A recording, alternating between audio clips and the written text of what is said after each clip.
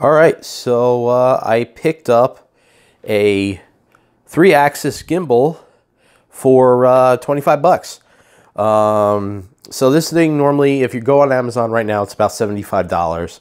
When it first came out, I believe it was like 100 which is competing with the, uh, the, uh, what the fuck, um, Smooth Q, I believe. And I am not the world's uh, best person with, you know, like I don't know too much about gimbals and things like that. So I'm not going to go over the specs because I don't know what the fuck I would I'm talking about. I'm just here pointing out that this thing was $25 at, at uh, Walmart on clearance.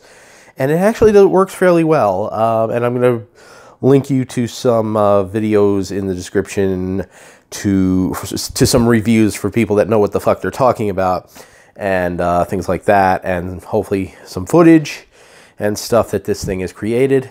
And I thought it was like an impulse buy. Basically, I went in there and I saw it and I was like, um, it said 50 on it. See, $50. And then I brought it up. I was like, oh, cool, 50 bucks. And I brought it up and they're like 25. And that meant that even with everything else that I got for my house and everything, I even got out of Walmart for uh, less than 50, even with the gimbal. So that was cool. Um, so yeah, it's it's not a bad uh, device. It works. Uh, I'm sure it's not going to be as good as some of the big guys, but if you're just looking like I want I thought other than just impulse buying it and for absolutely no reason, I figured I could actually be a little more mobile with my videos instead of doing what I'm doing right now, which is just pointing a camera at a product and talking about it maybe I could be able to move around a little without having a shaky video or having to use software stabilization and having the video look all look all warped and crazy. Um, so I just wanted one of these. Literally, for no fucking reason, I wanted this, and now I have one. Yay. Check. I got a gimbal. Uh, another thing, just throwing in at the last minute here. I thought it was kind of cool. It's, it's I don't think you're going to want it for any professional reasons, but uh, I got it to work. It was a little hard to get to work, but it is a 3D attachment. So you put this on your phone and um, it records 3D footage.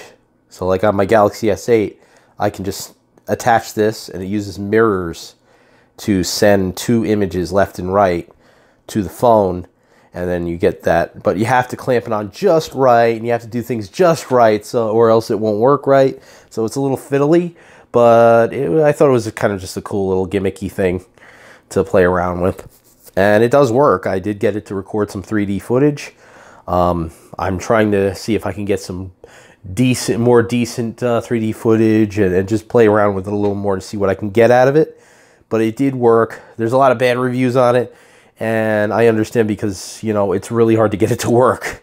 Um, so it does require some fiddling, and uh, it's not perfect. It's not going to compete with like a real 3D camera. But uh, I thought that was interesting and uh, threw that in there. And outside of that, I have a warning. do not, I repeat, I don't care what price it is. I bought this for four bucks. Do not purchase this. It was at Walmart when I was there with the buying the gimbal. Magic TV, LED says it fits up to a 65 inch TV. It does not. I would be surprised if it actually fit a 35 inch TV. Um, however, I guess you can run the LED strips across the back of the TV and use that. But the thing is, when I actually press a lot of some of the buttons, it just shuts. The whole thing just shuts off, and until I reboot the TV, it does not work. So I can only really press like red, green, blue, and once I hit white, it shuts off. If I tell it to blink, it shuts off. So it's a piece of shit. And um, that's about it. Um, other than that, so I think that's about it. And thank you for watching.